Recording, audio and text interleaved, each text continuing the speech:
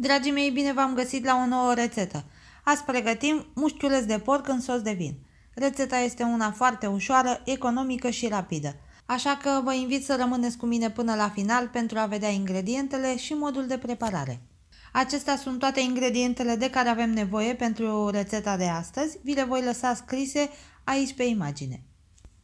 Începem cu mușchiulețul de porc pe care trebuie să îl tăiem în felii groase de aproximativ 1 cm.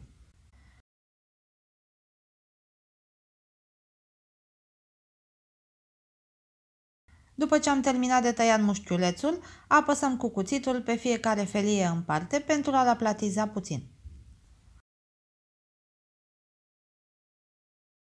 Punem o cratiță sau o tigaie la foc și adăugăm puțin ulei, aproximativ 3-4 linguri, nu mai mult. Când uleiul s-a încins, adăugăm feliile de mușchiuleț și le vom prăji foarte puțin la foc iute, atât cât să prindă o crustă pe deasupra, aproximativ un minut pe fiecare parte. Îl întoarcem și pe cealaltă parte și îl lăsăm să se rumenească. Bineînțeles că la interior nu este gătit de tot, el a rămas ușor crud, dar îl vom termina de gătit la sfârșit cu sosul. Scoatem carnea pe o farfurie și deocamdată oprim focul. Tocăm mărunt o ceapă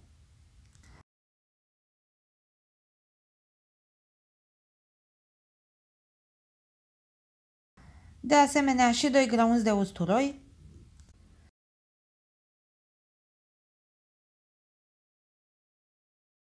apoi vom răzui și morcovul, iar apoi în aceeași cratiță în care am prăjit mușchiulețul, după ce s-a încins uleiul, adăugăm legumele. Punem prima dată ceapa și usturoiul și le vom căli aproximativ 2 minute la foc moderat. Din când în când amestecăm cu o lingură pentru a se căli pe toate părțile.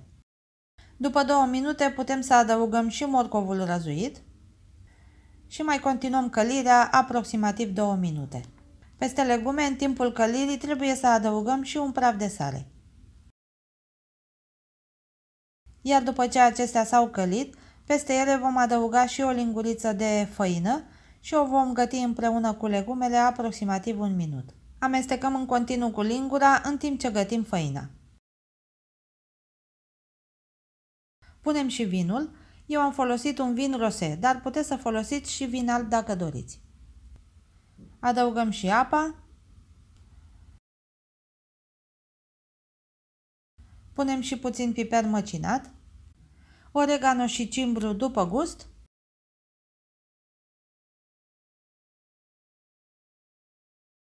și jumătate de linguriță de boia dulce. Amestecăm puțin pentru a încorpora și condimentele. Iar apoi adăugăm și feliile de mușchiuleț de porc.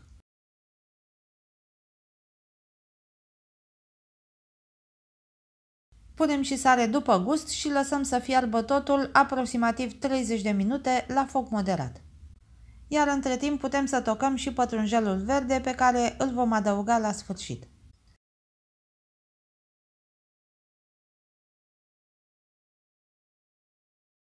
Iar după 30 de minute putem lăsa mușchiulețul de porc cu sosul așa cum este sau avem a doua opțiune să scoatem mușchiulețul pe o farfurie și să pasăm foarte bine legumele din sos. Eu am scos mușchiulețul pe o farfurie, iar apoi sosul l-am pus în vasul blenderului și am pasat totul foarte bine.